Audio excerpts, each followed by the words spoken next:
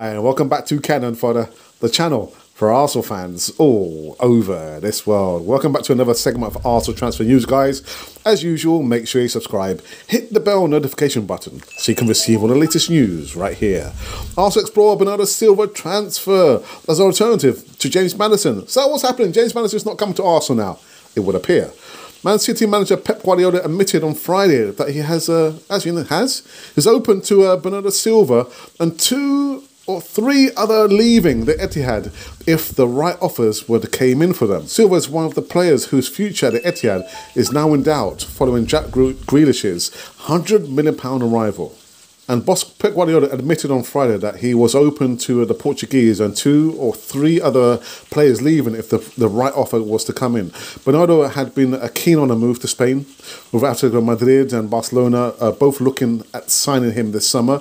But the financial situation in La Liga, clubs mean they could struggle to afford him, and that has opened the door for Arsenal. Yeah, Arsenal. Arteta knows Bernardo well after working with him at City during his days as Guardiola's number two, and he has made a playmaker one of his top priorities during this transfer window. After Martin Odegaard's loan spell ended and he returned back to Real Madrid, James Maddison is also in Arteta's sights, really? But Leicester, who value their player, uh, 60 million pounds, are playing hardball, and a deal for Bernardo Silva could be easier to get over the line. I've got to say, I do like Bernardo Silva. I didn't realise he's only age 26, still young, still got a lot of um, mileage in the legs.